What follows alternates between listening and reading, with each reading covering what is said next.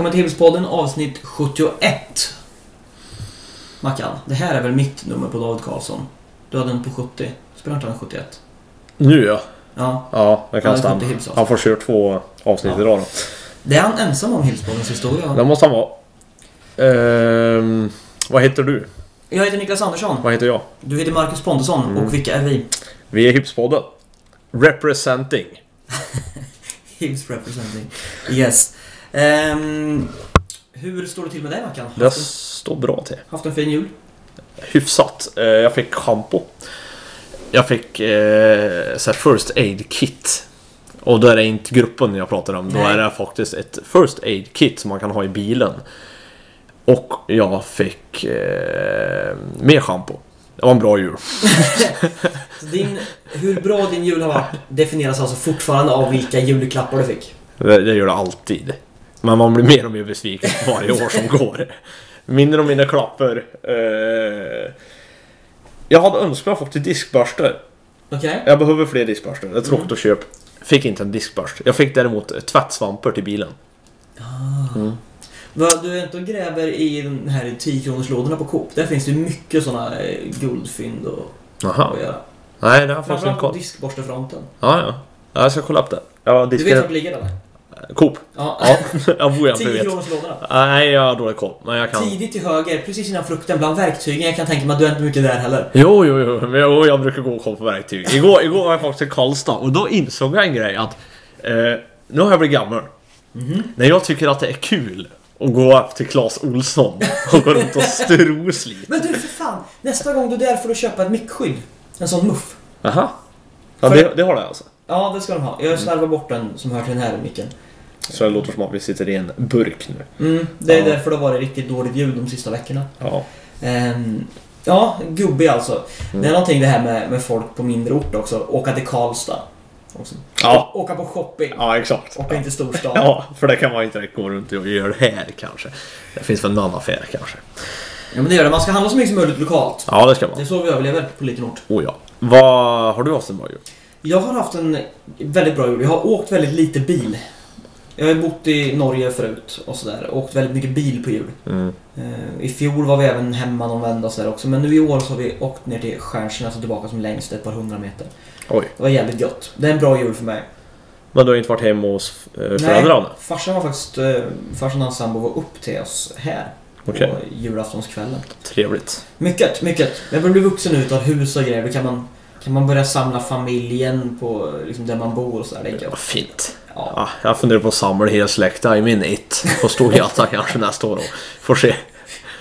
Eh, apropå eh, julklappar så fick jag en, eh, en bok om whisky.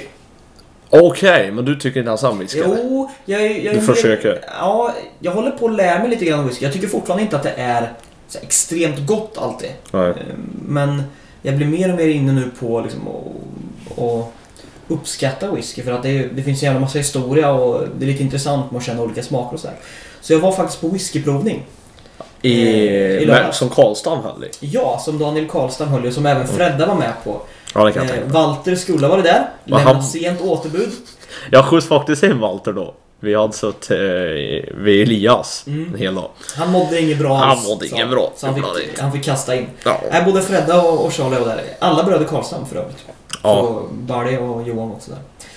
Skitsamma, det bryr sig inte poddlyssnarna om. Nej, men det skiter väl vi i. Ja, exakt. Är den här podden mest för lyssnarna eller är den här podden mest för oss Det är själva? för oss. Alltså det, Jag, jag känner så. det, är ganska jag, det har vi jag hävdat ofta. Att det är väl rätt... Eh, jag skiter ju i vad det tycker. Ja, det kan verka så ibland i alla fall. Ja, men en, en härlig jul. Nu är vi tillbaka i träning ikväll igen också. Ja, Så vi är tillbaka i lite rutiner. Ehm, hur känns det innebandymässigt just nu? Går man och väntar eller är man helt off? Nej men det går man lite avbrott eh, på några dagar bara. Mm. Så man känner att man får inte sug tillbaka. Och så... För man kan väl säga så att ni har fått två långhelger ledigt. Mm, Vi tränar nu måndag, tisdag i mellandagarna. Sen då ska man ta tillfället i akt och hugga lite klubbor. Eh, kanske sandpapper dem lite extra. Byt blå. Gör något speciellt. Det är ju juletider. Hitt en ny skön känsla vet du. Sen så är det bara att kasta in handduken igen och gå tillbaka till det man körde med innan jul. Men de här två träningarna, alltså måndag och tisdag nu så är det... Ja, då hookar man upp. Då åker man upp. Eh, fan, får vi besök eller? Vem är det som sitter i bilen där ute? Får vi besök? Jag vet inte. Nej. Det är någon som ska någonstans. Ja, Skitsamma. skitsamma. Eh, vad gör vi idag? Vi har inga matcher att prata om. Jo, vi har en match att prata om. Vi missade en match förra veckan. Vi missade att prata om eh, toppmatchen i division 2, var Ja, Karlstad just- tidig med att påpeka. Just det. Där det slog publikrekord i... Var det så? Ja, ja. Ja, Det just var, det. det var Just över det, 500 pers det var. Det var ju minnesmatch va? Ja, för hon som har suttit i speaker. Mm. Jag vet inte vad hon hette. Hon har varit lite stark man, eller dragit väldigt tungt lass i GS. Ja, Eh, äldre damen som tyvärr eh, gick bort. Ja, för hon satt ju i och var speaker ända sedan jag var liten. Kommer jag ihåg henne i Grossbordshallen till och med. Ja. Så har hon varit speaker på i stort sett varenda match GS någonsin har spelat. Så det var GS Skatcher nu som spelade eh, toppmöte. En liten hängmatch. Eh, Skatcher-vinst 7-4. Mm. Ledde tidigt med 4-0. Eh, sen kom GS aldrig ikapp. Nu har de vunnit varsin match där i toppen. Eh, GS vann den första i sadden. Och hur står det till i serien? Ja, nu leder GS med en poäng bara, så det var ju svinviktig Mm. seger för Skatcher. Så nu är det verkligen eh, GS på 25, Skatcher på 24 och så Karlskoga skuggar på 22 poäng, så de har fortfarande chansen. Vilket lag vill vi ha upp? Ehm, ja, alltså som vi som förening eller vi två? Vi två. Jag skulle jättegärna upp Karlskoga såklart. Eh, I och med att det är Då är du dum därifrån jag själv är. Ja. Ehm, så det, det vore skitkul att ha upp dem. Men det, ja, då ska man få dem i samma serie. Och det är inte säkert att man får. Eh, sen är det ju ingen rolig bortamatch med den hallen och golvet. Nej, Och, exakt. eh, ehm, men, men ur rent egoistiskt perspektiv så är Mm. det klart att jag skulle vilja eh, ha upp Karlskoga en division till. Ehm, sen, ja, jag vet inte. Jag vill ha upp GS. Skatcher, det känns som att... Det känns lite grann som been there, done that. Ja. Ja, exakt. Och frågan är om de vill det. Frågan är om det är Nej, nej det är ju svårt att veta vad det är för ambitioner blir, ja, vilket lag blir bra? Vilket lag kan få fäste i division 1? Det känns som att GS är det laget som ligger närmast till hands och, och kunna klara steget. Ja, faktiskt. Lite grann så är det så. Men... Eh, ja, Skatcher har väl kanske en... En jämnare trupp, skulle jag påstå. Tycker du det? Ja, jo men en jämnare trupp har det. Men GS har bättre spets. Ja. Tycker jag ändå. Med Gren och... Sen kan Skatcher vara ganska rolig att kolla på. Det är lite lirarnas lag. Ja, men det är det ju visserligen. Det är ju inte Skatcher som var uppe i ettan Vad för sedan. målvakter nu? Det är Åberg och någon mer eller? Ja, inte en aning. Men jag tror Åberg står va? Ja. Tror jag. På så sätt vore det kul för honom. Ja, det var det. Ehm, Ja, men eh, så ligger det till och de har såklart inte spelat någonting i mellandagarna nu. Nej. Det har däremot Karlstad gjort. Så Karlstad eh, innebandy. backa lite grann på att det inte har spelats någonting. SSL har faktiskt varit igång. Ja. Ehm, Karlstad här har spelat, det gick jävligt bra. Ehm, vann en viktig men även planenlig mot Gävle hemma. 7-4. Ja, det gjorde det. Och eh, ja, vad säger man om det här? Det ser väl otroligt stabilt ut. Ja, jag menar de släpper in de två sista. När halva tredje har gått, då står det 7-2 är klart. Mm. Eh, De leder med 4-0 halvvägs in i matchen. Så eh, jag, jag vet inte om de... eh, Vad de liksom läser av den här. Det var väl en match som de skulle vinna och som de vann. Eh, Om man tittar på Special Teams, de gör ändå mål i sitt första boxplay. Eh, De gör mål i sitt första PP. Eh, Sen dödar de ett boxplay, sen gör de mål igen i PP. Eh, ja, nej, alltså special teams helt okej. De verkar föra matchen. Eh, Nu vet jag inte hur mycket folk det var där. Ah, dålig koll på det Ja, faktiskt. just det, det var en publikmatch mellan eh, Karlstad och Helton, var det inte så? Som Karlstad torskade. Jag tror de hade en tävling om vilka som hade flest på plats i, Jaha, i okej. mellandagsmatcherna. Okej. De spelar samtidigt eller? Ja, ja, så borde det ha varit. Ja, ja. Okej. hade en liten intern tävling där. Ehm, nej men så det, det känns väl... Det gick väl så bra som det skulle göra. Och Adam Colling gjorde fyra nya poäng och ligger nu på en tredje plats i poängligan. På 35 pyts efter 15 Ja, matcher. 35 poäng. Ja, poäng alltså. Det är imponerande. Det är bara Galante som har gjort fler. Mål. Mm. Mm. Ja, det är ruskigt bra gjort så är det. Nej, kul för Karlstad som nu är på en slutspelsplats igen. Mm. Ja, där kommer det bli tight, det där kommer ju gå hur som det vill. Ja, den, ja, de har en match mer spelad än Växjö som kan gå om. Ja, Eh, Men de har ändå AIK bakom sig, Varberg bakom sig plus Sirius, Granlo och Gävle som, som inte kommer gå om Karlstad. eh, Det men det är åtta poäng ner till strecket nu. Mm. Nej, det- nu börjar det mer och mer bli så att okej, kan de fightas med Dalen och Växjö om den sista platsen? Mm. Eh, Kan de hålla ett lag bakom sig? Ja, AIK såklart. Eh, Varberg ser ju för klena ut. Tyvärr. Eller tyvärr och tyvärr. Man har väl inga mer känslor för dem än för något annat lag. Men, men det känns som att det är AIK, Växjö, Karlstad och Dalen som slåss om två platser. Så är det. Karlstad dam då? Har de spel? Ja, det har de. Och de vann mot eh, Falun va? Om jag inte Yes. missminner mig. Eh, Ganska tight match ändå. ja. Mm. Men Karlstad dam är väl ett urholkat lag nu känns det väl lite som. Du tänker på spelartapp och så? Ja. För det kändes som att det inledde säsongen med ganska tunn trupp överhuvudlag. Eller överhuvudtaget. Mm. Som de hade ungefär. Tre femmor och någon extra spelare. Och förlita på det. Och nu har de ju tapp spelare. Mm. De har ändå en slutspelsplats. Jo, jo, det har de. Ja, men alltså, jag menar inte att det som är kvar är dåligt. Men det känns ändå lite urholkat. För det känns som att de hade inte så bred trupp till att börja med och så har de tapp på det. Så det... Du tror inte Rosendal kommer tillbaks? Nej. Det tror jag inte att de gör. Har de möjlighet att få in någonting annat? Uh, inte en aning. Väldigt dålig koll. Det är väl, alltså en sån som Nanny Ögren, nu vet inte jag om hon är redan tillbaka kallad, men hon kommer ju bli tillbaka kallad. Mm, just det. Det är jag ganska övertygad om. De har lite dubbellicenser och så som Ja. de kan gå på. Men eh, sen så vet jag inte om det finns... Det är väl att dra, de försöker väl få några dubbellicenser med några HF-spelare och så, men det vet jag inte om det blir något av. Men en sån som Emma Hultgren då? Hur har hon varit i år? Hon är ändå innanför ramarna på, på, när det gäller ålder och så. Ja. Hon har ändå varit aktuell för Karlstad förut. Mm. Ja, jag vet inte. om Det, det är Nu vet jag inte vad, vad de söker för spelartyper och så. Nej, men alltså på några vis så känns det som att, ja okej. Frida Svan, hon går in och gör, hon är 99 alltså. Hon går in och gör en. Hon gör två. Hon gör... Eh, tre, tre poäng. En till 99 som gör poäng är Sara Dahlström. Mm. Eh, och det känns väl lite som att... Nej, jag gjorde inte alls poäng. Jo, det gjorde hon visst. Är du inne på att Och det är inte de som det- ska behöva bränna Nej, eller hur? På det viset. Det känns som att de behöver lite, lite rutinerade poängspelare. Kanske som går in och drar det här. För det, det känns lite unfair. Att det är två helt nya spelare som är Lite grann 99. som det var för, för HF då när eh, Amanda och Tilda kom upp. För två och en halv säsong sedan. Ja, När de kom upp och gjorde första året när 95-kullen var äldst på då gymnasiet. Klara, Tilda och Amanda Gick spelade. upp och, och sprutade in poäng första Ja. året. Mm. Mm.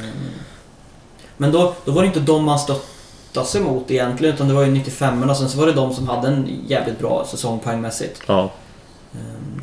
Men ja, det behöver inte vara av ondo såklart. Det är skitbra Nej, nej, det är får chansen, kul men- för det. Men Absolut. Men du det... det kan vara lite farligt kanske att förlita sig på dem. Ja. Det är inte säkert att Karlstad gör heller, men Ja. ja, jag kan köpa att du tycker att truppen är lite tunn och det... Man behöver ju åtminstone ha alla skadefria och, och i form och så här nu om man inte plockar in någonting. Ja. Och så vet man ju, alltså kommer det in i en svag... Det är fortfarande väldigt, väldigt ung spelare.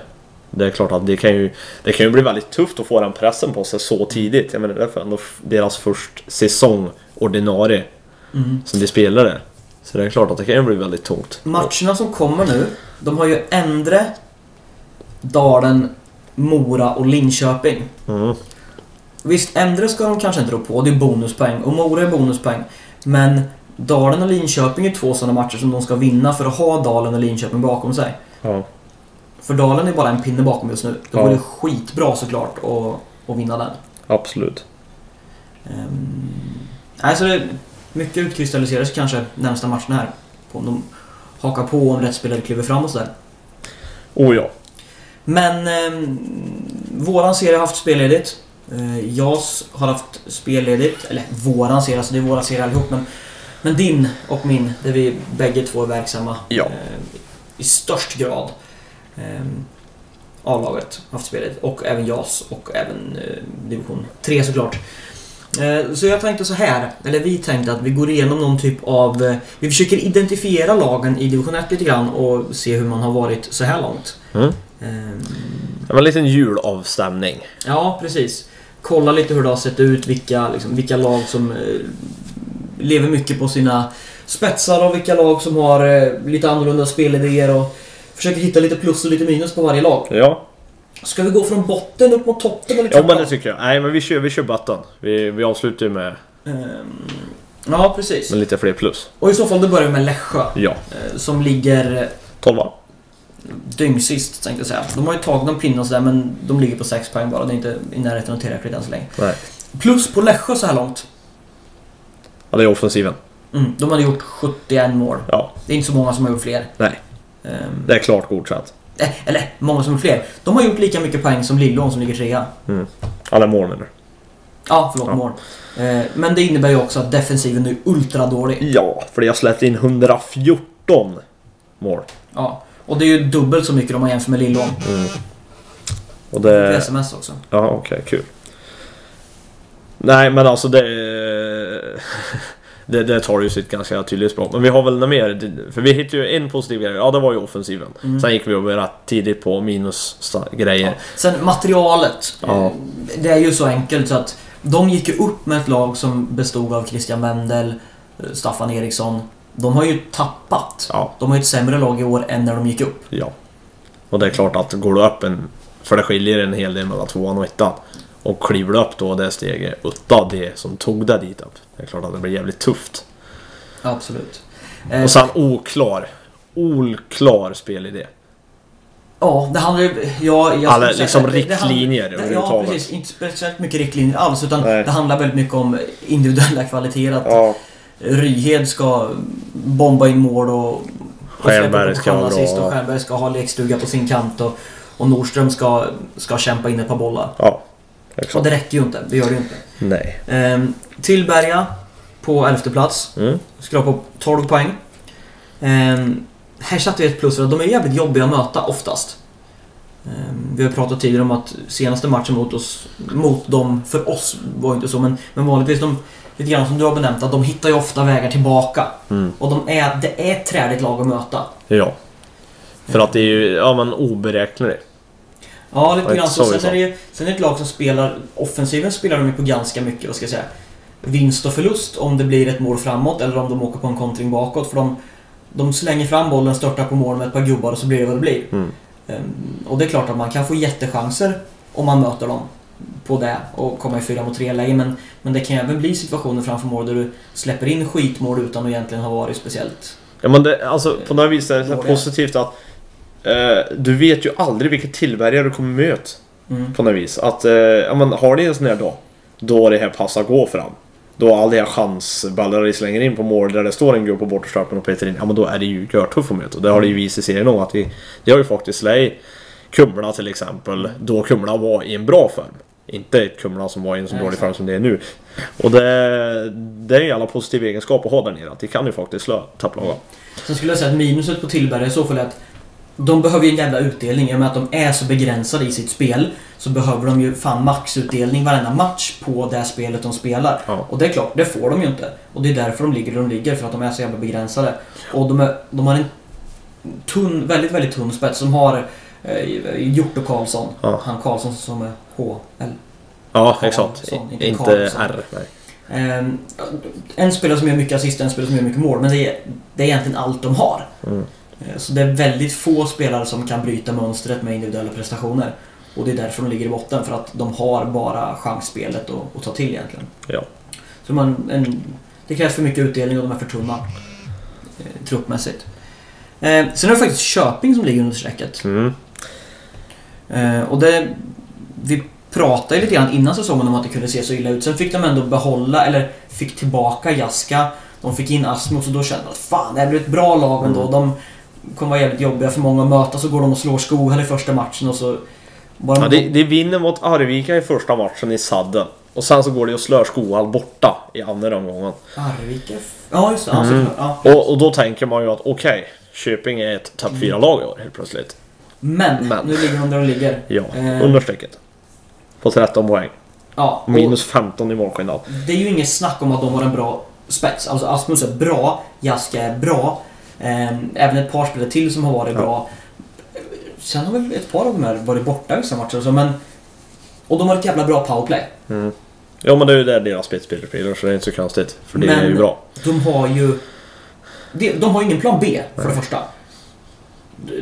De- har ju inte ändrat till något annat sätt att spela på som har fungerat. Men det här har du varit Ja, in på i två säsonger nu. Ja, Att Köping har ingen plan B och det har aldrig haft det. För det har du sagt flera gånger kommer jag ihåg att när inte det här spelet stämmer så blir det som att ja, men de vet inte vad de ska ta När de väl ligger under i en match med kanske 3-4 bollar så, så kan de liksom inte vända på steken för de har inget mer att ta till. Och det, det är ju jag att det ligger där det ligger för serien är ju så pass jämn och det finns så många bra lag. Så att det är ju väldigt många matcher man ligger under med 2-3 baller. Och där bra lag lyckas att vända på det. Men det gör inte Köping. Och då ligger det där nere. Så det måste ju göra en genomgående väldigt bra match och få väldigt bra utdelning på det här. Asmus, Jaska, Ja, för att vinna. och de måste ju... De är ju framförallt väldigt beroende av första perioderna. De är beroende av att vara i ledning. Ja, Och ha ett lag som jagar dem. Mm. Som öppnar upp sig. Ja så det kan kontra ännu mer och gå ifrån ja. Så är det. Ehm, Och sen har du varit inne lite grann på att de har ju ingen andra femma. Nej. De är jävligt tunna. De har ju ett par riktigt bra spetsar, men när de spelar ihop för att få ut så mycket som möjligt av sig själva och varann så har de ingen andra femma som levererar. Nej. Ehm, nu kommer vi säkert spela mot dem sista omgången och släppa in sex baljor av deras andras fem. Säkert, andra femma. säkert. Men Men vi det är är ändå så det skitsamma. har sett ut hittills. Ja, exakt. Vi kan inte säga någonting annat än, än det.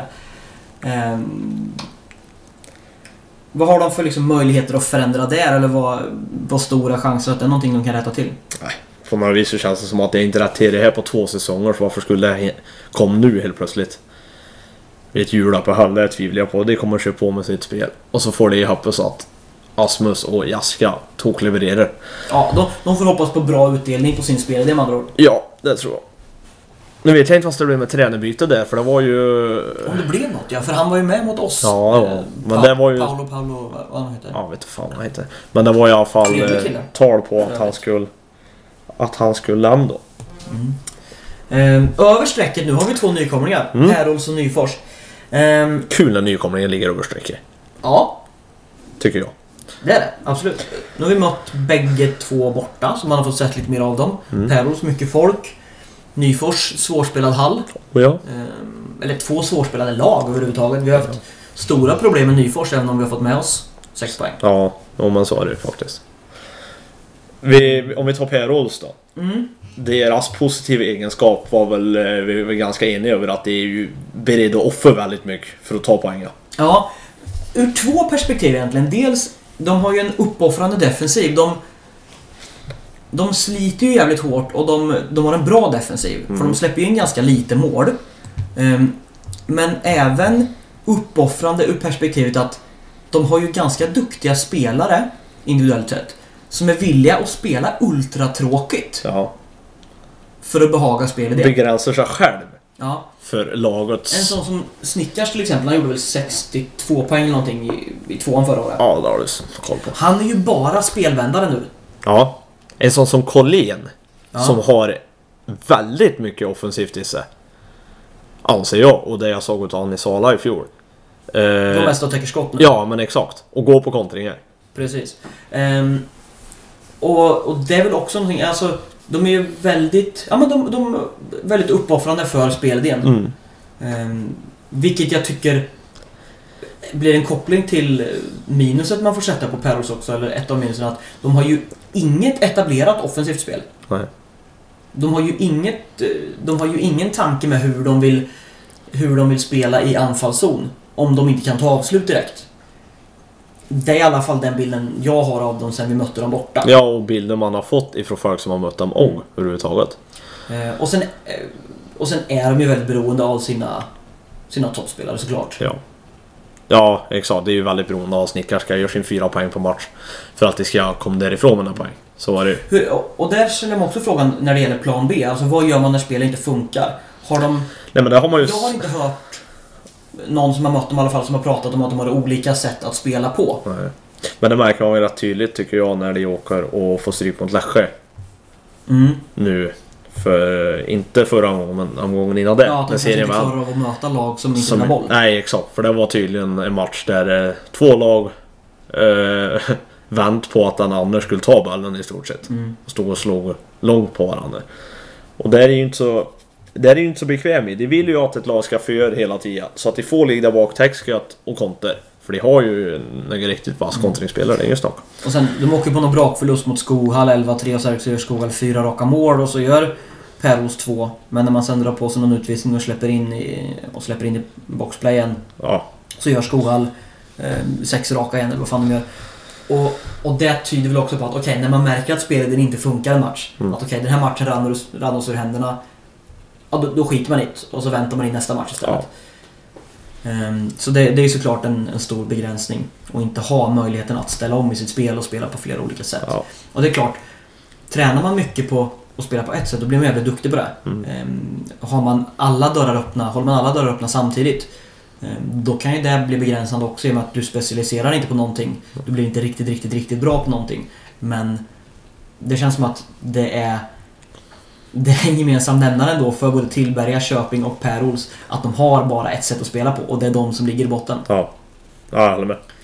Det är därför Köping hamnar där till exempel. Att, att Per Ols är indragna det är för att de är nykomling och Ja. kanske inte har materialet. Ehm, Nyfors då? Mm. Ligger på en eh, åttonde plats. Också indragna ett par poäng för Köping. Och Tillberga. Nyfors, vad har vi för plus på dem? Vi har...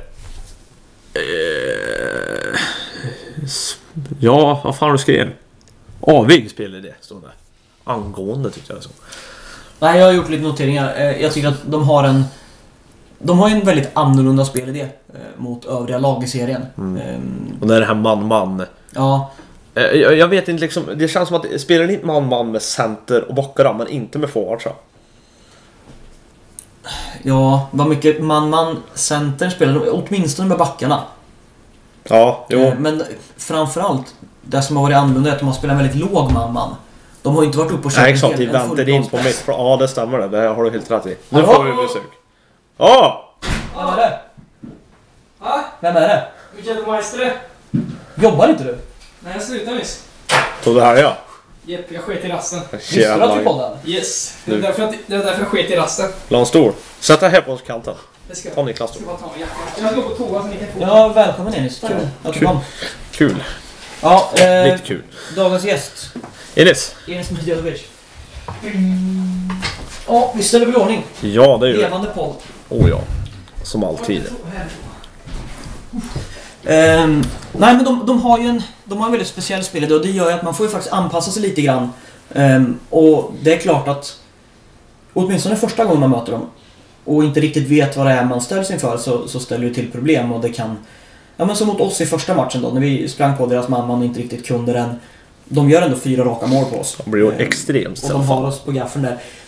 Ehm, Sen ja, går in och jublar i omklädningsrummet som att jag vunnit matchen. Ja, just det. Ja. Ehm, Klassiker. En modern klassiker. Ja. Ehm, det tycker väl jag också blir ett minus i slutändan men men det finns ju fler plus med Nyfors såklart. De har en, de har en bra spets. Alltså, nu, nu var inte Rasmus Jansson med mot oss första matchen, men han var ju med andra när vi mötte dem borta. Och han är ju ruskigt bra. Jävlar vad bra han är. Ja. Ehm, och de har någon annan gubbe också som är skickliga, framförallt offensivt. Ja. Ehm, sen, hallen är jobbig. Ja men det är ju, det är ju ett väldigt eh, konstigt eh, Ja. golv. Ett, Rutten ja, ja. Helvete vad dåligt. Ja. Rutten halv är det. Nej, själva, alltså Det är själva... ju för fan stål överallt. Det är för fan... Jo, jo men det, alltså det är, Skriker 70-tal på den där. själva arenan tycker jag väl ändå. Det är väl inget fel liksom. Så, De har skön publik. Ja, Ja, Som ja. buar lite grann och Ja, åt mig och lever sig Anton. in. Och det var inte söndagsmatch. Ja. Det är bra. Ja, man får lite liv och så. Ja, det var Ja. kul. Men äh, ska man se till det... Till minusen där då. Jag tycker de, de blir lättlästa. Mm. När man har mött den här man, man, uppställningen en gång Så lätt straffad. Ja, så blir de lättstraffade om man gör någonting bra av det. Ja. Ehm, dessutom så har de kanske inte riktigt... Jag vet inte, har de materialet för att spela det försvarsspelet som de gör? Ja, jag var väl inne på det att eh, jag tycker väl inte... Det har väl lite för mycket övertro på deras defensiv Mm. Backuppsättning överhuvudtaget för att kunna hänga med bra forwards. Du vill ju du vill att du skulle sätta ett plus för själv... Ja, jag tycker ju att det är häftigt att, jag tycker det är lite häftigt att de, de tror så jävla mycket på sig själv. Mm, att de fortfarande liksom går för kvar. Ja, och exakt. Och om fokuserar så mycket på playoff-platsen när de ligger liksom inreja. Och det i- kan ju faktiskt vara någonting som gör att man eh, man släpper fokuset på liksom att det är ångestmatcher och man eh, ligger och slåss runt Mm. strecket i botten och så. Att man även om det för vissa kanske blir lite skämtsamt så, så fokuserar man ändå uppåt och, och kanske spelar med mindre press. Men eh, ja, ska vi prata självbild så tänker jag ändå, även fast jag gillar tankesättet på ett sätt så känner jag ändå att okej, men men när halva serien nu har gått och ni verkligen ligger indragna i botten, är det då inte dags att börja fundera på om spelidén verkligen funkar? Är det Nyfors alltså? Ja, Det- vi pratar om Nyfors. Åtta. Plus och minus på olika lag i serien här som vi drar. Snälla, om man, om man har åtta förluster så ska man inte ens snacka om playoff upp. Det är för fan pin. De ska ner bara. Det är det enda de ska fokusera på, att komma över botten. Jo, tre. men om man tänker så här. Nej. Vi har sju poäng upp till Sura som ligger på playoff. Ja, men Sura kommer inte förlora varje match. De kommer inte vinna varje Sura match. kommer förlora exakt hälften och vinna exakt hälften. Precis. Det är sen gammalt. Det är Och Nyfors kommer inte... Nej, för fan, lägg av nu. Nej, nej, men... Jag säger kom ner på jorden och då pratar jag om Stjärnbacken också som de har. Det var stjärnvakan då. Han är som drog på sig tre frislag på eh, 30 sekunder och liksom vinkade åt mig att jag skulle ställa mig upp och... Jag vet inte fan vad det var. Var det det? Tycker jag, du att han är stjärnbak? eller Jag tycker han är en Nej, det stod ju det i, Ja, i matchbladet. i matchbladet och han var ju... Ja, det var väl inget att hänga i granen. Yes, är ni så här mina damer och herrar? Ja, det är Eh, han. nästa Och det här blir helt plötsligt, ifrån, ifrån väldigt sansad och neutral podd, så blir det här en hybrispodd. Bara så. Det var smalt. Sjunde plats, en pinne framför eh, Nyfors. Lockerud Mariestad på 16 poäng. På sjunde plats. Plus på Lockerud, Enis. Har du något? Vi hittar inte något. Nej, jag skojar. Det är väl att Micke vill ha mig i PP. Det är väl... Ja, du gillar Lockeruds tränare, det gillar Ja, Micke. jag tycker om Micke. Eh, jag skulle säga att Lockerud har en... Eh, de har en ganska bra lägstanivå. Eh, de är med i alla matcher. Eh, som jag har sett dem i alla fall. Eh, och eh, även i matcherna mot oss.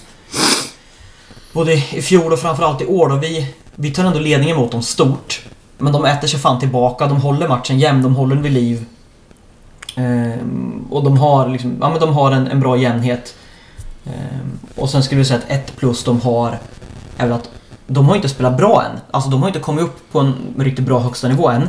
Men de ligger ändå med och simmar, nu är det väl 6 poäng upp då till strecket, men, men de är ändå med i racet hyfsat fortfarande. Ja. Så de har sparkapital som man skulle kunna sätta på plussidan här. Även om de inte har kommit upp på nivå. Mm. Så det är väl det jag känner är, liksom, talar till deras fördel just nu. Ehm, minussidan, Lockerud då? Ja. Vad, vad ska vi ta? Vi tar... eh, eh, ja men det här med... Du och jag pratade om att jag har svårt att ett tryck. Ja, rent spelmässigt. Ja. Ehm, spelet i anfallszon, de har svårt när de väl har kontrat eller spelat upp bollen i ett uppspel eh, och de inte kommer till avslut så har de svårt att behålla trycket längre stunder. De har Mm. svårt att liksom, trycka ner och göra det jobbigt för motståndarna längre perioder. Ehm, Känns lite okreativ överhuvudtaget. Det känns som att de har, de har en idé. De var mer kreativa i fjol. Ja, men det är det jag menar att... eh, Det var, jag sa ju... Eller jag försökte komma in på det här, men du... Jag vet inte, vi kom in på något annat då i alla fall. Du menar att jag avbröt dig? Du avbröt mig. Eh, Men vi, att det var in i helvete mycket svårare att försvara sig mot i fjol. För det var mer oläsbar på något vis och har lite mer... Eh, lite mer rock'n'roll i sig. Ja, men nu känns det liksom, de vill hitta upp i höga slottet. Ja, och då kan vi stå och markera med två gubbar. Men lika, alltså, då ska de fortfarande slå upp den i höga slottet liksom att... Ja, men vi vill till höga ja. slottet liksom, då ska vi fan dit liksom. Mm. Det finns ingen plan B. Nej. Och sen... Höga slottet, det har väl varit när Ponténs femårsspel. Han är ganska duktig på att ta sig Stöckel också jävligt bra. Ja, men jag tycker Stöckel är mer begränsad. Jag tycker han är mer hockeyspel. Det är mer vänsterkant han rör sig så jävla bra. Jag kollade när jag var hos Kim då efter vår match. Då Tycker du visade det? de, Jag tycker ja, men då faktiskt- visade de någon video när han trollade upp någon Nyfors-spelare med fotarbete liksom. Det var upp, ner, upp, ner, upp, ner och sen var han helt borta liksom. Uppnedlingskanten eller in Nej, ut inne i slottet? In och ut i slottet För var det det så tycker fick jag han ändå- in den och... Det tycker jag ändå har varit det som har gjort att Karl har varit ganska svår att försvara sig mot och Karl har ändå gjort ett par mål på oss de sista mötena här. Jag menar, han har ändå... Pontén har kommit in i slottet, kommit över nära eh, spelaren som har boll, ibland kommit upp i högra slottet, ibland spelar på vänsterkanten. Jag tycker att Stöckel, i alla fall mot oss, har varit mer hockeyspel, mer vänsterkant. Ehm, Men det tyder kanske på att jag scoutar för dåligt och att Enis borde Ja, ta över. ja, det borde han. Ja. Spelande Ehm, coach. Nej men just det med etablerat tryck har väl varit en sak. Sen, sen sätter jag fortfarande någon typ av frågetecken för liksom, okej, deras, deras spelartrupp. De har Karl Pontén som du tryckte det ganska bra förut Mackan. Visst, Karl gör en del poäng och så, men han har ju tidigare i Hibs inte haft den rollen som liksom poängliga ledare. Men det har han väl... Man, Pontén har väl aldrig egentligen varit en sån som ska ligga högst upp i ett lag i poängliga. Alltså, han har väl varit, han har varit bra på ganska mycket saker. Alltså ganska allround som spelare. Haft ett bra skott, ett, ett bra passningsspel. Bla bla. Men eh, han känns mer som en forcerad fram eh, matchvinnare i Lockerud. Ja, På grund utav att de har inte det självklar.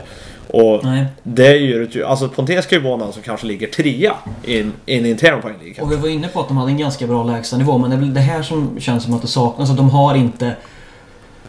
De har inte tillräckligt många spelare med spets just nu. Nej. Åtminstone inte som levererar, som man, som man kan... Liksom, Nej, och det menar jag inte att Pontén har inte gjort det dåligt där. Absolut inte, Men men det, det känns ju som att, ja men exakt, det kändes som det borde ju finnas fler som kommer upp i Hanses nivå. Det har det inte gjort. Nej. Sen... Sen vet jag inte om jag är helt ute och cyklar nu, men... Eh, när det drog ihop sig i fjol, Mm. när vi tog oss upp på playoff-placeringen sent under förra året. Eh, då var det Lockerud som tappade placeringen. Då hade de mycket skador, sjukdomar Mm. eh, under den sista delen av serien. När det gällde som mest. I år nu när det har gått tungt, när det har gällt som mest för dem och liksom de har... Eh, ja men det måste väl ha känts för dem som att de ska haka på tåget. Då har de haft mycket sjukdomar, skador. Alltså vad, vad stora är vinnarskallarna? Ställer jag mig frågan. Du menar alltså att de känner efter? Ja, När det går alltså jag ställer eller? åtminstone frågan. Ja, men- jag känner men inte det- truppen tillräckligt bra för att säga att så är det. Absolut inte. Men det är väldigt intressant just det du säger att det var ju faktiskt här i fjol. Att det är ju inte ett manfall på en eller två spelare. Det är ju väldigt många som är bort. Mm. I lång sekvenser. Visst, nu kommer jag väl ihåg det kanske för att ehm, det pratades om inför, eh, eller efter Lillo-matchen då. Mm. Att de hade spelat på väldigt få spelare och jag blev förvånad för Lockerud hade spelat på mycket folk, de har haft en bred trupp och så vidare. Men hur, liksom, hur, hur starka är karaktärerna? Mm. Man kan alltid håna det här med att ja, de skulle ha in en 60-70 poängspelare eh, hit och dit hur mycket som helst. Ehm, Mm. och någonting ligger det väl det också att har de tänkt att bygga en trupp på, på spelare som de inte fick in, ja då är det klart, då går det inte så bra som man har trott från början. Men någonstans ställer jag mig också frågan, vad, vad måste man få ut av spelarna som faktiskt finns? Vad måste spelarna som finns i truppen bidra med för att det ska bli riktigt bra? Mm. Eh, Tydligare roller då eller vad? Ja, jag vet inte hur rollbesättningen är heller, men... Det är så svårt, man har ju inte insikt så som man vet Nej. exakt hur allt är uppbyggt på det viset. Men alltså jag kan ju ändå... Men hur många poängspelare har de? Det är Karl, det är Stöckel, hur många fler är det som har gjort en del poäng? eh, ja, David har väl gjort en del ifrån bakplatsen. Ja. Det är väl... eh, sen har jag... Ja... Jag vet inte. Han är, vad, vad värv, värvar inte de något nytt inför i år? Fast han blev ju bänkad mot oss. Vad fan heter han? Myrlund? Men det tror jag inte var en sån typ av spelare. Nej, Mhm. Vart var han i Örebro? Nej, han var väl i Mora. Mora man väl. kanske det var då. Eh, nej men eh, det känns som att de skulle ha behövt fler spelare som klev fram för att, för att få bättre möjlighet till spets i varje match. För att ha matchvinnare i varje match. För Lockerud är ju ett bra lag. Mm, Det är det precis. ju. Men... Eh, tror aldrig knyta ihop påsen. nej, exakt på något vis. De har inte här riktigt... Ja, uttalad matchvinner, uttalad poänggörare. Om vi, ska, om vi ska blicka mot nästa lag på listan då. Om vi ser till... Eh, det är faktiskt Kumla som är före nu. På 20 poäng. Som Mm. är sexa. Eh, de har ju verkligen matchvinnare. Ja, och är väldigt beroende av det. Ja, ja, det satt vi som ett minus att de är väldigt beroende av... ehm, heter han Albinsson eller Albertsson eller vad heter han på vänsterkanten? Ehm, Mm. Fan vad det är då. eh, en, en av rightarna. Ja, exakt. Han gör en Ehm. hel del poäng. Som gör ganska mycket poäng. Och sen framförallt då Jimmy Karlsson och Johan Nordström. Ja. Eh, Nordström spelar ju han spelar fan dubbla byten. Ehm, och Albertsson heter han förresten. Ehm, Nordström på backplats och, och Jimmy Karlsson som eh, som eh, också har en väldigt stor roll i, liksom, i spelfördelandet. Så eh, de är väldigt beroende, absolut. Men de har ju också matchvinnare. Det får man ge dem. Ja, och så har det ju en otroligt tydlig spelidé som hela laget köper och som är väldigt svårt att försvara sig emot. Ja. Och det var väl vi, det tyckte väl vi inte... eh, Vad ska man säga, när vi mötte dem så tyckte vi att det var väldigt svårt att försvara sig mot den. Mm. Även fast spelidén är ju så enkel. ja, Han är ju... Precis, jag tänkte nämna det och jag tror jag sagt det förut att det är ju ingen hokus pokus egentligen men de är för jävla duktiga på att maximera Mm. sin spelidé Kumla. Eller har varit åtminstone. Nu har de ju gått jävligt dåligt i fem matcher men... Ja, det är ju extremt dåligt för. Ja. Vi knäckte dem. Ja, men det blir knäckt innan, tror jag. Nej. Köping Ja, var Köping där och slog dem i sadden. sadden. Vet du. Före oss? Vi vred bara om kniven. Ja, exakt. Ehm, Nej men det, ska man säga någonting om, om Kumla så så... Ja, de är beroende och de har tydligen ingen bra lägstanivå. Men eh, ja, de får ut mycket av spelet. Det De har ett bra PP också. Ja, det har de. Och så är det väl inget roligt att komma till den där hallen och spela. Nej, deras hall är ju hemsk. Så är det. Ehm, Arvika, nu är de fem Arvika. Ja, Och vi har pratat om det och nu är de där. De har faktiskt bara förlorat tre matcher i ordinarie tid. ja, Det ska vi faktiskt komma ihåg. Att, visst, de gick knackigt i början men det var flera oavgjorda matcher. så är det. Det var inte så att de förlorade allt. Nej. Nej, det är ju inte så att det har varit totalt brött dålig under hela säsongen. Nej, det, har, de- det har de väl alla varit ganska överens om. Men de har fem oavgjorda matcher. Det, Ja, och de så har det ju liksom... början på poängtapp. Ja, exakt. Och så är det ju mot kanske lite mot fel lag va. Mm. Men Arvika då, plus på deras konto. Ja, vad har vi? Vi har hallen. Det är inte kul att komma till Arvika och Nej, det, det. handlar inte om att förutsättningarna på plan är så dåliga att det är... Visst, hallen är, han är lite, han är ganska, han är lite mindre. Det är inte, det är inte full storlek på honom. Mm. Men eh, själva golvet är inget fel på och det är inte snarare- så mycket som Jag skulle påverkar. snarare säga så här. De har ett sånt jävla självförtroende där hemma. Mm. De blir så pass mycket bättre hemma. Med publiken, med tryggheten, med planstorlek och liksom bara atmosfären där inne. Ja. Jag tror de blir så pass mycket bättre att det är en nackdel att komma dit. Ja, exakt.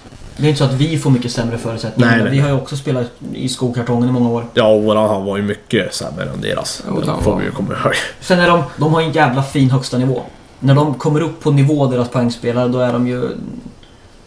Det är ju poänggaranti på varenda gubbe tänkte jag säga. Otroligt kreativ. När det väl stämmer. Mm. Då kan det ju hitpassningar överallt och göra mål på vad som helst. Samtidigt som de är jävligt tunga att möta. Alltså det är ett fysiskt lag, de är jobbiga att spela mot. När de har stäm. Ja.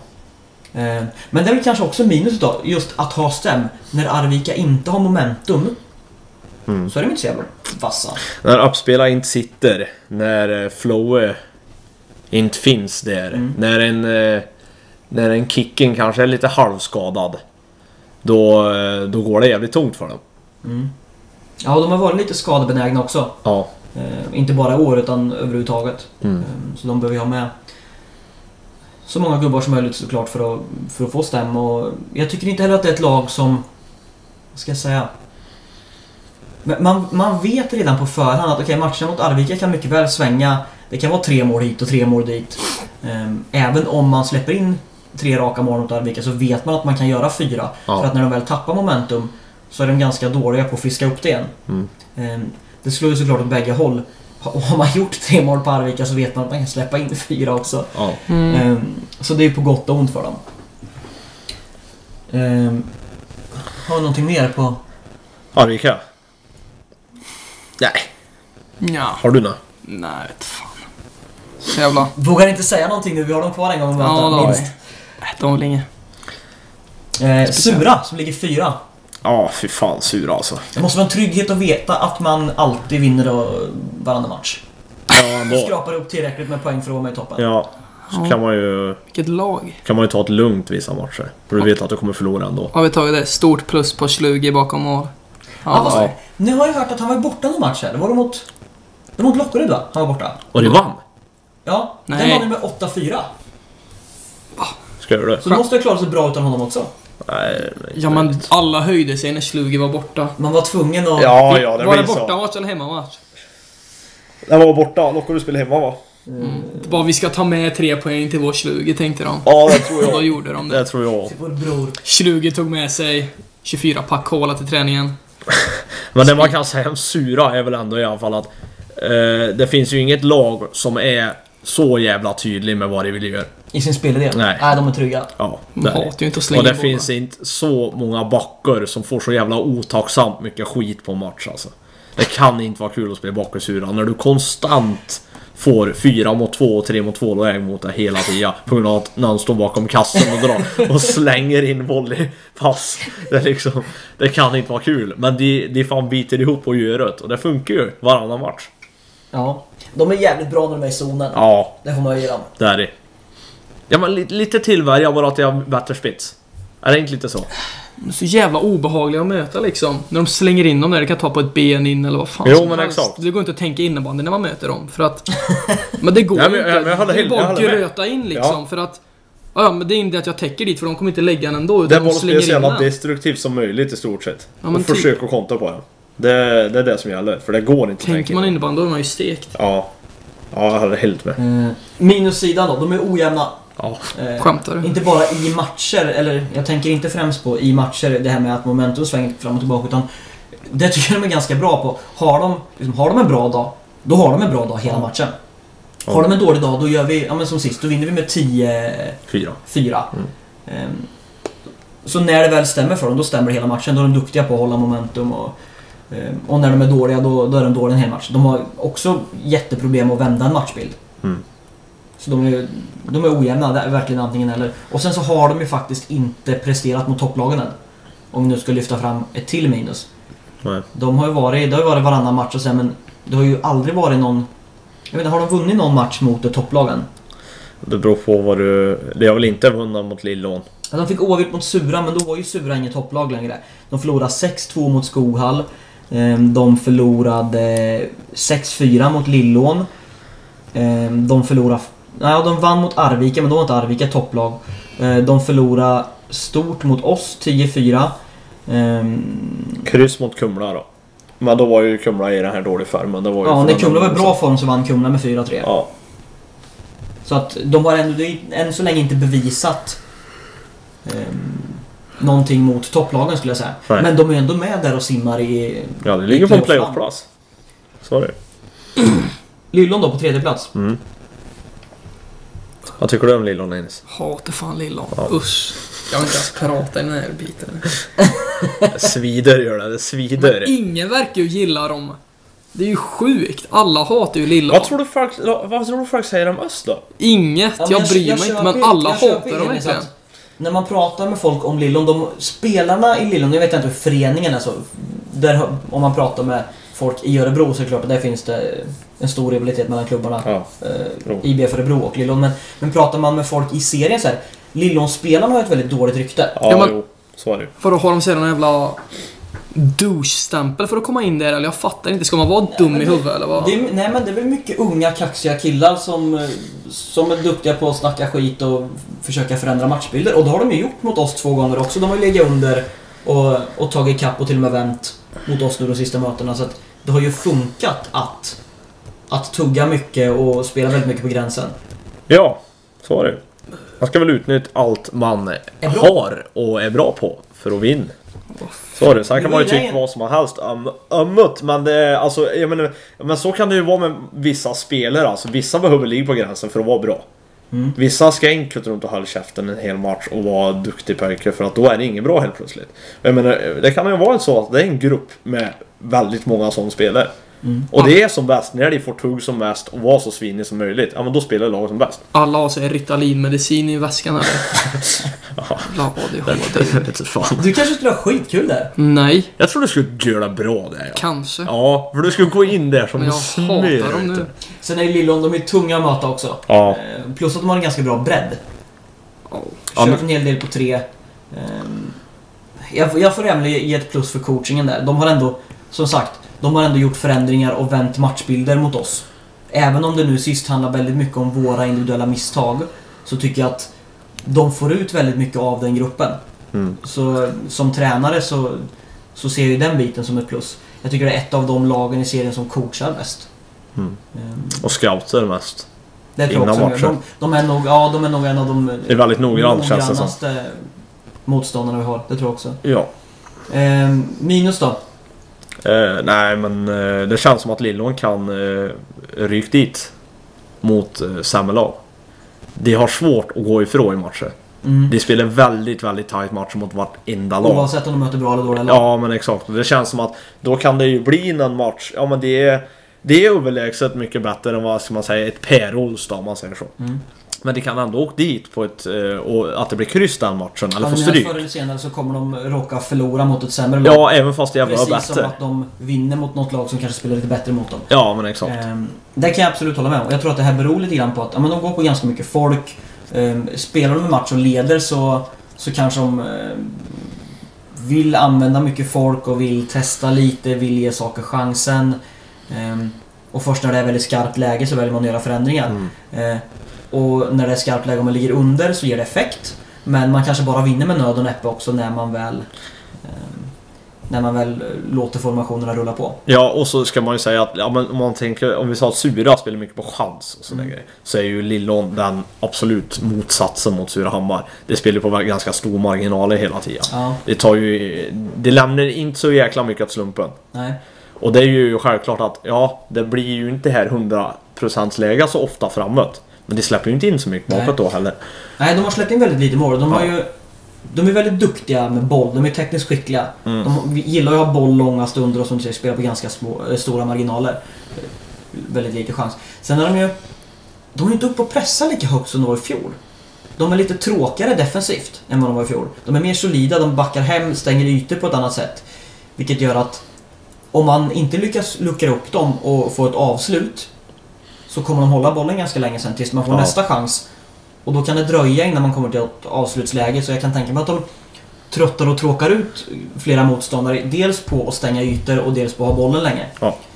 Ehm, det, det får man väl se som ett plus då. Sen om man ser till, nu ligger de trea. Ser stabila ut, ser ut att gå mot playoff och det har vi sagt innan säsongen att det tror vi stenhårt på. De har ju ingen... De har väl ingen sån playoff-rutin. Nu har de några spelare såklart som har varit med på den nivån tidigare och spelat Allsvenskan, framförallt bland backarna tror jag. Sen fick de in eh, han Micke Nilsson, nya, eh, som har rutin. Men om, om de nu satsar på att gå upp Mm. så är det, det här är det första playoff-året för dem uppåt. De som inte var med i, ja men, eh, vinna eller försvinna matchen mot Örebro för, eh, för många år sedan då, eller, eller som har varit i Allsvenskan sista året. Mm. Men just playoff-momentet är nytt för många. Så det kanske är ett litet minus när de kommer så långt som till playoff. Jo, det kan det ju vara. Absolut. Det, du är ju mer trygg om du har varit där förut. För det kände väl jag lite grann i fjol i alla fall att nu, nu fick vi möta Västerås och de var så pass mycket bättre men Men hade vi fått mött eh, Arvika eller Skoghall eller någonting alltså, Man säger Skoghall då som hade erfarenhet om att spela playoff-matcher tidigare Mm. Så hade det varit ett moment som hade varit vår nackdel Det är jag helt säker på Ja. Ehm, Så skulle vi gå så långt som till playoff i år då Då känns det bra någonstans att ha gjort det förut Det ger ju ingenting gratis men det är i alla fall en liten, liten, liten fördel Jo. Det är klart att det kan ju... Det kan ju... Det kan ju, vad heter det, släck anspänningar lite grann. Åtminstone för någon eller ett par spelare Ja. Det kan ju betyda mycket. Men vissa kanske tycker det är skitkul och, och en stor utmaning att göra någonting för första gången och inte bryr sig alls om ehm, eh, att det ger en extra nervositetskänsla för vissa.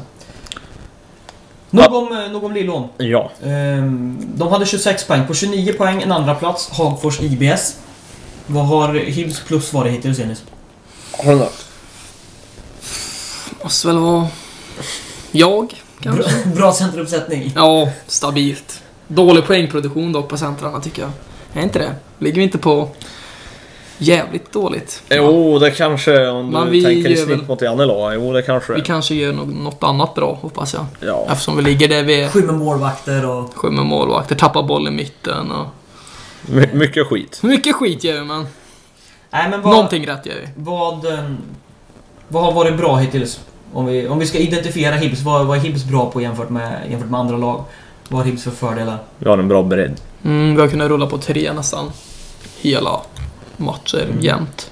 Det har ju också gett, om man ser ur mitt perspektiv då, det har ju gett möjligheter... Det har inte förändrats extremt mycket. Det är inte så att vi har tombola-coachat från match till match. Men, men vi har kunnat hitta lite andra lösningar också längs med, längs med vägen. Om vi jämför med Köping. Ja, deras enda två valde att köra eh, sina fem bra spelare i en femma eller att sprida ut dem. Mm.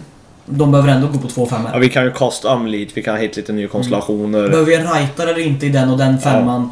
Eh, vill vi ha mer skottkraft bakifrån? Vi kan blanda lite grann så. Mm. Eh, eller göra om under matcher då. Så det, det hjälper ju bredden till med såklart. Eh, sen tycker jag vi har haft en bra offensiv. Ja. Nu har vi blivit lite tråkigare sen jag kom hit men, men vi har ändå gjort helt okej med mål i år. Vi har Vi har gjort gjort- 84. Ja, och vi ligger på plus 30 så okej, man kanske ska säga så här. Vi har en bra målskillnad. Det har vi. Ja, det har vi absolut. Och det är ju baserat på att vi gör... Gud vad klyschigt och dumt det låter, men vi gör mycket och släpper in lite. Eh, vi har gjort näst minst Lowest. mål i serien. Nej, vi har gjort minst antal mål i serien. Eller släppt in minst antal. Antal, menar jag. Har vi inte det? Jo, det har vi. 54, ja. Ehm, och så har vi gjort näst flest.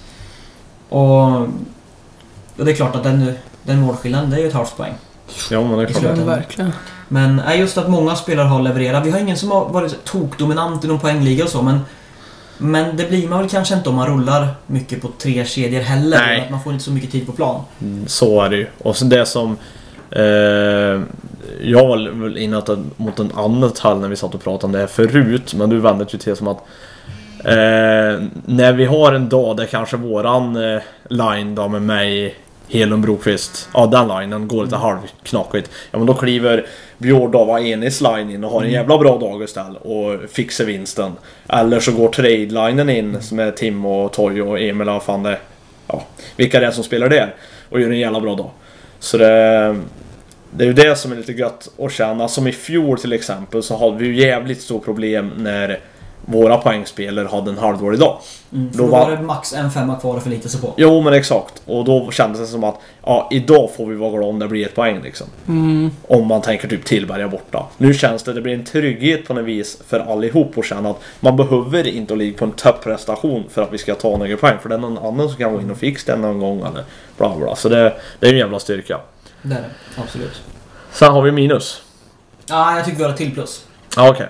Ja det. Vi har två jävligt bra målvakter. Ja, självklart. Så de är inte så jävla bra. Vi täcker så jävla mycket skott. Det är ju det. De är... Höj dem inte nu för fan. Det suger, vi De är är bra. sämst. Nej vad fan, vi har ju två bästa målvakter i serien. Ja, efter Jesper Jansson. Ja, efter är Renis. är Efter, är är bros. efter Renis kompis då. Ja.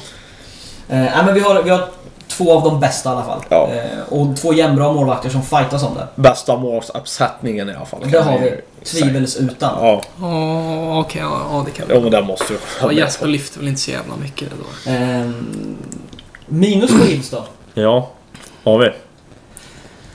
Nu har vi... Vi har visserligen... Vi fick spela playoff i fjol.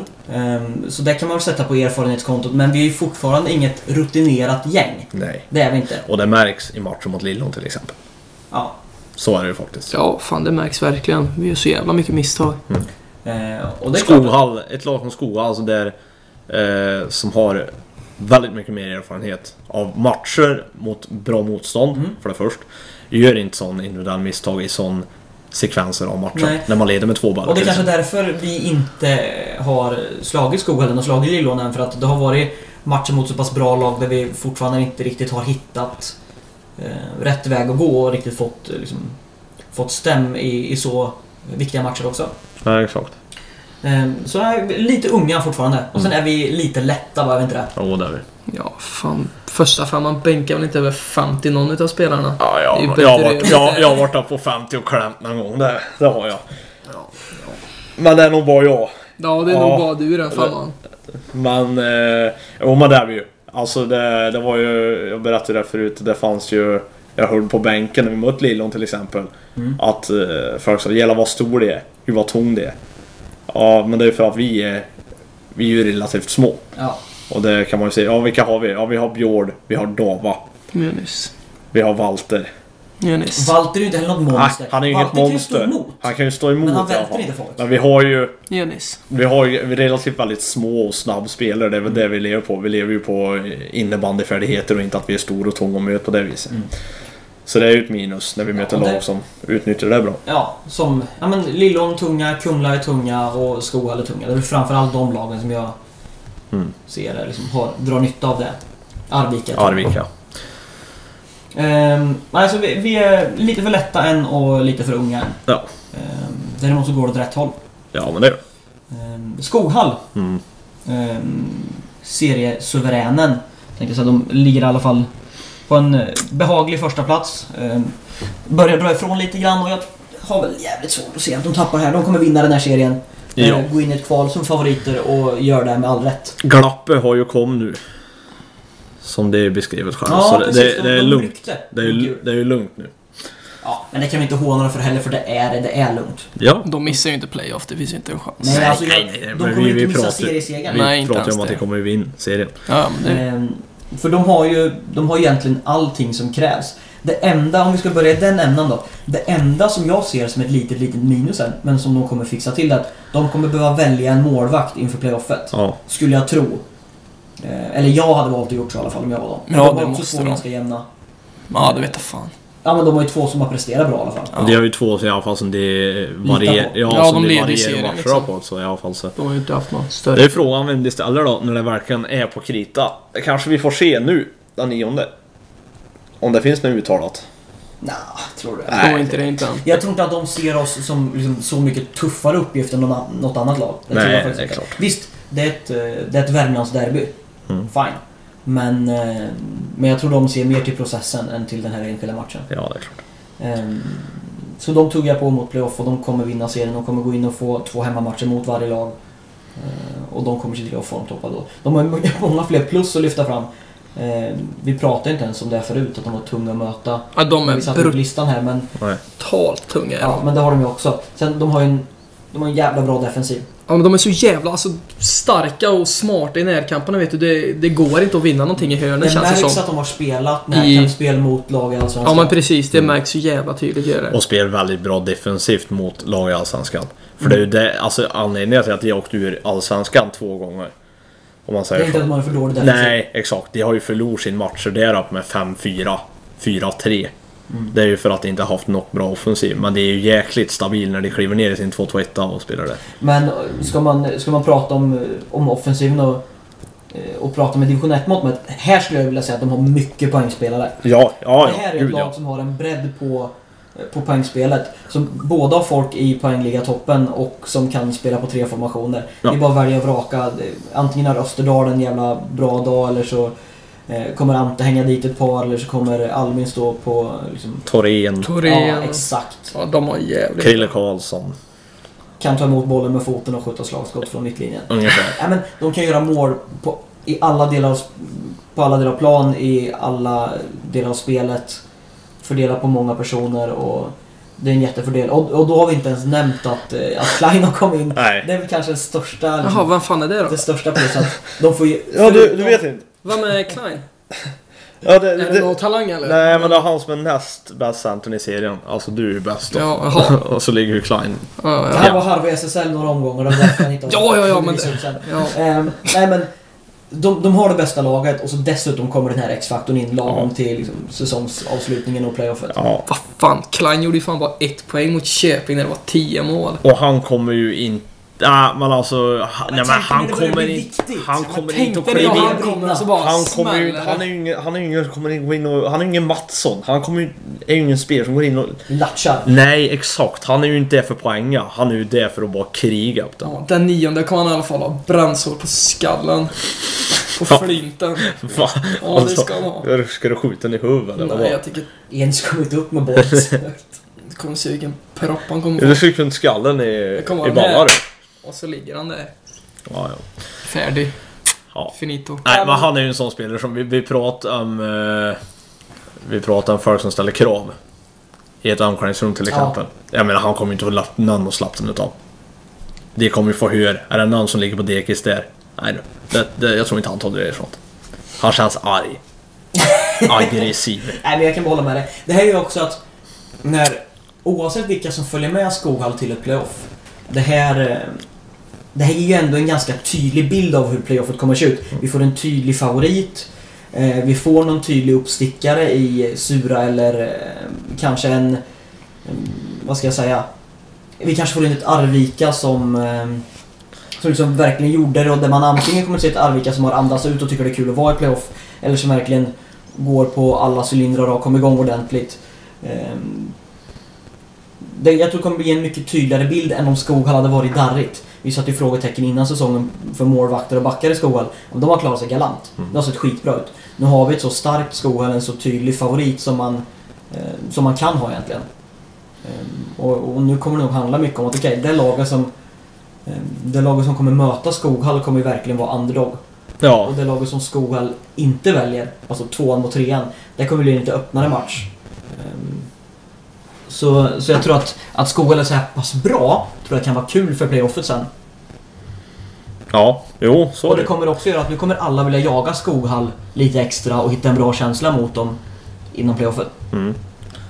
Ja, och så, ja, exakt. Och så krävs det ju en, en verkligen toppinsats av varje lag för att kunna rubba Skoghall nu. Mm. Jag tror det kommer bli lite grann så här att lagen som ligger strax efter playoff där som har allt att spela för. De kommer ju verkligen gå all in mot Skoghall såklart och försöka rubba dem och, och hitta en bra känsla och hitta ett sätt att störa dem.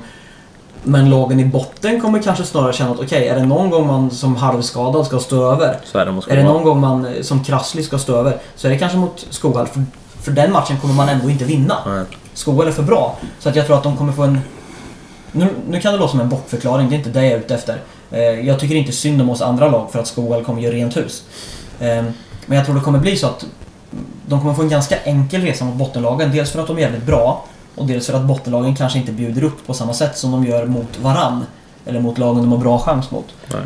Ehm, Men att Skoghall är så pass bra kommer ju också göra att de kommer slå många lag som ligger och fightas med oss om de här sista eh, playoffplatserna. Mm. Så det kommer vara bra för oss lag i toppen att Skoghall käkar upp så pass många poäng. Jo men så är det. Man vill ju ha så litet lag som möjligt inblandad i den där striden. Så är det. Man vill ju inte att sex lag ska vara där, även fast det verkar att bli så Exakt. just nu. Uh, Enis, Mm. kul att du är här. Har du haft en bra jul? Ja, jag vet fan om jag har haft en bra jul alltså. Det är så jävla För det tråkigt. första Mackan, Jenny firar ju inte ens Nej, jul. det suger när det är julafton. Jag fick ju Jag nöta sönder Netflix fick jag göra. Ja men... Och det var ju eh, ingen Netflix and chill, det var ju Netflix and alone liksom. Okej. Det var Netflix en pill. Netflix and Lena Lena Handén. Eh, men vad... Man får inte julklappar ändå. Det har du sagt att du har fått. Ja, jag fick ibland utav syrran och de, vi fick när vi var mindre utav mamma och dem, men Men ingen längre. nej. Alltså vi har inte tid att prata om Jennys jul för Jo. vi är över timmen ändå. Ja vi är Vi det. skulle kortpodda idag. Okej. Men vad heter det? Jo, fan fråga mer. Nej, det vill jag Nej. inte förvåna mig med det. Det skulle bli kul att träna ikväll Jennys. Ja, Mycket spel idag. är det? Mm. Du Jag har fan huvudvärk alltså. Barnet tog koll på mig idag. Ja, vi... Vad är det Helvete. fritids idag eller? Ja, fan. ja, barn är inte en grej. Nej jävlar, alltså jag har världens huvudvärk har jag. Utebandy. Nej, det Eller blev ingen utebandy längre. Nej. Det bara slashar på mig hela tiden. Jag blir skadad snart. du får vara domare. Mm. Ehm, Ja, men ska vi klappa ihop eller? jag tror vi får göra. Fan, en Ehm, bra listan då. Kul att du Va? kom Jennys. Tack. Ja. Tack. Varsågod. Bra. Uh, får se om vi hinner klippa ihop det här. Sen är det träning. Förresten såg ni Jonas Östlunds VF Sportens straff igår? Var det han det som knäckte Eller igår, klubbjäveln? jag såg Hade han det inte kunnat igår. lagt klart den straffen? Ja. Hade domaren märkt det? För Men gick den blev väl om ändå för att målvakten klev ut 50 Ja, meter och tog Och bollen. tog ballen ja. Ja, Vilket jävla ägg! ja Han det ha var... sparkat Han, nej, han kunde ha vantat in den för Ja. helvete. Alltså, men han, han eh, höpp ju ut ur målområdet och tog Ja. med händerna. Ja, han hade kunnat sparka bort den. Ja. Mm, det hade han kunnat. Men... Går klubban av ganska långt upp eller? Han gick av på mitten tror jag. Alltså, ja, klubborna i år kan fan dra åt helvete. Unihawk. Ja men det där var Fan. inte... Det, kan det, inte sitta och prata Det är så. klart jag kan! det där var inte årets upplaga. Det var en Jo. sån där gammal curve Ja, ifrån... men årets upplaga 2007. är det värsta jag varit med om. Fan, är det gjort på papper eller? Du, du har ju inte en spelstil Jenny som, som passar klubbor alls. Nej, jag får väl stoppa in en jävla järnskiva snart. Blast. Företaget från Finland. Det ska du höra av dig till. Mm, det ska jag fan göra. Vi kan sponsra med rullskridskor. Och uppblåsbar vatten... Eller uppblåsbar Ja, var inte de Simon Larsson fick ett av eller? Jo, eller det vill sponsra hel eh, Hibs Junior där ett tag. Ja. Mycket roligare jag har Blast. Jag, Elias och Thelander fick ju real stick i ettan. Ja, just det. Men är inte det samma... Jag vet inte. Det var keft i alla fall. Ja, i alla fall. Det var en rolig straff i alla fall. Ja, jag tror han hade kunnat lagt in den ändå utan att domaren fattar någonting. Ja. För domarna verkar inte med på det. Han gick ju Nej. fram till domaren och visade upp och det såg ut som att fråga för jag lägger klart straffen och då kom målvakten. Men det var ju Karpen också. Tog... Uh, satte han Men jag vet. straffen som gick om? Jag vet inte om det blev straff. Jag har inte någon aning. Jo, det blev omstraff. Det blev det. Satt han den? Vet fan. Nej. Jag kan tycka att Östlund ska komma och träna mot imorgon. Jag tycker jag. Kul. Öppen träning imorgon Östlund. Mm. Och ett stort reportage. Det... Sex sidor vill du ha. Om en Om Jedemeister. Om, om straffen. Ehm, nej, får se om vi får något besök på dagens träning. Ja, är det... Nej, det kommer inte vara någonting som ska värvas in. Nej, det vet jag, men är det... Jo, fullt i spelare. Ja, vad fan. Med Daniel Edman är hemma. Kommer? Ja. Ja, det var det jag funderade på om han skulle komma ner. Jag Kille pratar- pratade om det här om... Ja, jag pratade med Morans förut. Vi Ja, jobbar ju tillsammans. Ja, och Enström kommer väl. Yes, Galante också. Han kom ju på audition. Ja. Audition! Vi ska se, om han är någonting att ha får se om med. han plockar, tar en plats i PP. Tvek. Tveksamt. Nej, men nu skiter vi i det här. Ja, det är vi. Nu, nu klappar vi ihop butiken. Åh! Kul med lite temapodd. Åh! Ehm, om folk ehm, har åsikter om vår lilla lista så gör som vanligt. Skit i att höra av er. ni få som lyssnar. Ja. Boris, lyssna. Nej men vi, det, är få, det är inte så få. Vi, vi, Ja. vi, vi, vi ligger på ett bra snitt. Jag pratade med Boris i, Mhm. på Karlstad Gävle. Han tycker ni blev för tråkiga. Ja men, det är För just att- att vi är två stycken. Ja, jag sa också Det det. Att. Killer har försvunnit Killer kunde vara seriös och så kunde ni sticka in med så här oseriösa grejer. Ja. Nu är det ju liksom att när jag är här då får jag vara lite oseriös och ni Du får vara där Mackan var i fjol. Ja. Ja. Mackan har blivit tvungen att vara där jag var i fjol. Ja. Mm. Och du är Så- tvungen att bli kille. Så vi har blivit tråkigare och tråkigare. Ja, men det är, svår, alltså det är ju svårt att hålla igång ett samtal med två stycken i en tim. Så är det ju. Så det- Och då blir det ju ofta fakta-rabbling. Det är svårt att hitta eh, sidospår. Men jag tycker ändå vi sköter det bra och det här gör vi för min skull. Det gör vi. Ja, Exakt, vi, vi gör det inte för lyssnarna som, eh, som Nej. sa förut. Utan Det är kul att prata av sig lite. det är terapi för oss också. Ja, det är det. Ja, det är det fan. Eh, med de orden så stänger vi Hibspodden avsnitt 71. Ja. Malkin får den. Ja, det får han. Då eh, säger vi tack för oss så länge. Ni har lyssnat på Hibspodden avsnitt 71 med mig Niklas Andersson. Mig, Marcus Dreger Pontusson. Om ett Ha det gött. Hej med er.